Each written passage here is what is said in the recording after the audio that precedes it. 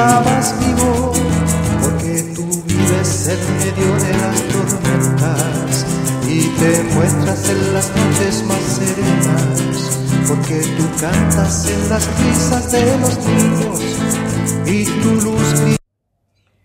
Estamos dando un pasito más en nuestro examen de conciencia según el Espíritu. ¿Qué me guía el Espíritu? No que me guío yo, porque de repente mi yo-yo, mi orgullo-orgullo no son un buen consejero. Pero si me apoyo en el Señor, en su Espíritu, vamos a salir siempre adelante. Y este es, este es el Espíritu de Dios. Esto es lo que Él dijo. Aquí está mi palabra. Yo soy el camino, síganme y aquí está sus enseñanzas. Aquí está donde me dice que me ama, que me quiere, que está feliz conmigo. Me dice que me ama y me quiere, pero por ahí no es el buen camino. Me previene. Qué maravilla, qué maravilla. Y veamos hoy día, ya terminamos con Primera de Pedro y vamos ahora a Primera de Juan 4.8 estos mensajes de ellos son maravillosos, son cortitos, que no necesitamos tremendas explicaciones. Incluso lo podemos poner por ahí escrito.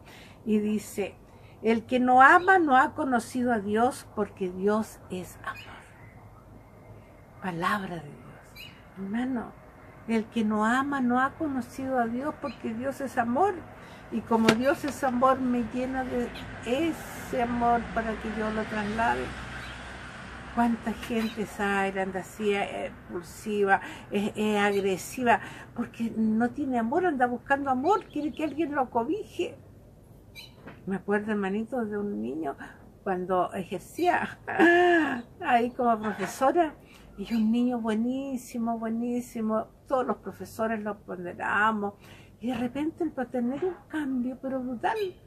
Y un día conversé con él, yo conversaba, cuidado, no es mejor, y me miraba así un día lo llamé y le dije, ¿sabes qué más, rey mía? Porque yo era profesora jefe. Voy a tener que llamar a tu papá, a tu mamá. ¿Cómo ese cambio? ¿Por qué? No quiero hacerlo porque tú no lo mereces. Y me queda mirando y me dice, ¿lo va a llamar? Sí.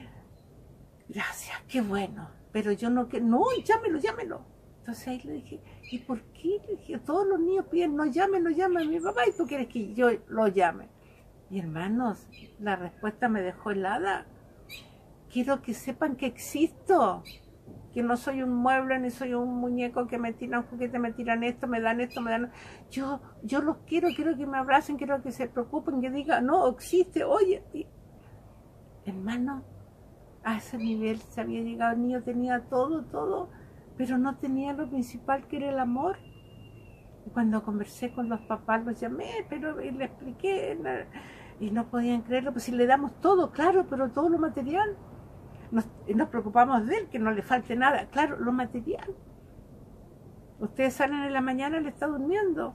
Él llega en la tarde, ustedes no están. Y cuando ustedes llegan, él está durmiendo.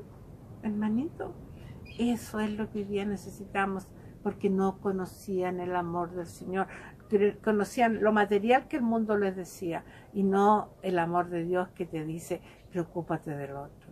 Así que hermanito, llevemos, llevemos a todos a este Dios que es amor.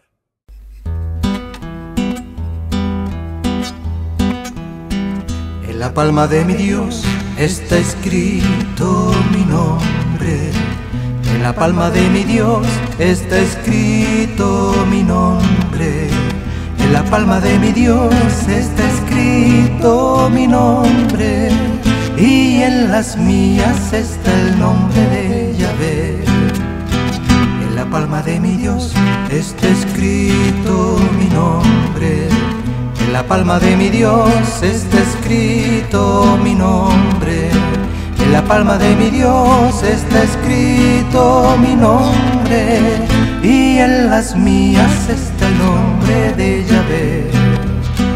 Por eso hoy yo levanto mis manos para bendecir el pacto de amor que la echó conmigo. Por eso hoy yo levanto mis manos para bendecir su nombre y para que Él me bendiga.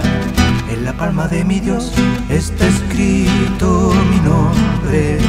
En la palma de mi Dios está escrito mi nombre. En la palma de mi Dios está escrito mi nombre. Y en las mías está el nombre de Yahvé. En la palma de mi Dios está escrito mi nombre. En la palma de mi Dios está escrito mi nombre. En la palma de mi Dios está escrito mi nombre. Y en las mías está el nombre de Yahvé. Por eso hoy yo levanto mis manos para bendecir el pacto de amor que él ha hecho conmigo. Por eso hoy yo levanto mis manos para bendecir su nombre y para que Él me bendiga. Por eso hoy yo levanto mis manos para bendecir el pacto de amor que Él ha hecho conmigo. Por eso hoy yo levanto mis manos para bendecir su nombre y para que me bendiga.